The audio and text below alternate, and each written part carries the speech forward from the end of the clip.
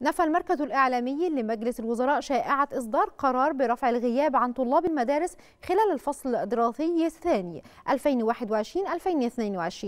وتواصل المركز مع وزارة التربية والتعليم والتعليم الفني والتي نفت تلك الأنباء مؤكدة أنه لن أنه لم يتم إصدار أي قرارات بهذا الشأن والتي شددت على انتظام دراسة بجميع المدارس على مستوى الجمهورية خلال الفصل الدراسي الثاني. ويتم تسجيل كل من الحضور والغياب بشكل إلزامي وليس اختياريا مع الالتزام بتطبيق كافة الأجراءات الاحترازية للحفاظ على سلامة وصحة الطلاب وأعضاء المنظومة التعليمية.